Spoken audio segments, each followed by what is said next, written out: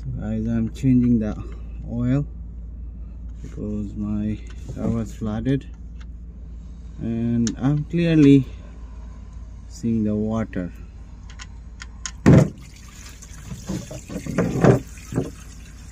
That's a lot of water guys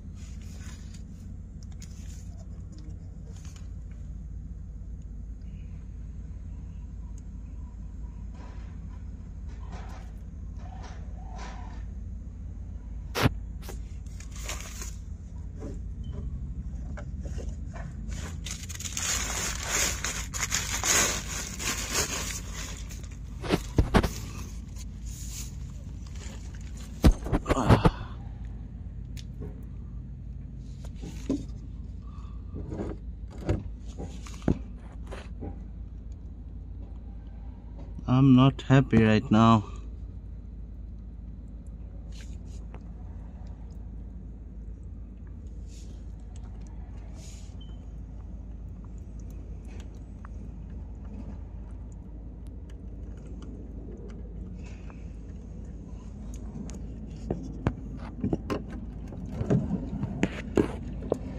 I'm gonna leave it to drip Mm. because I wasn't really expecting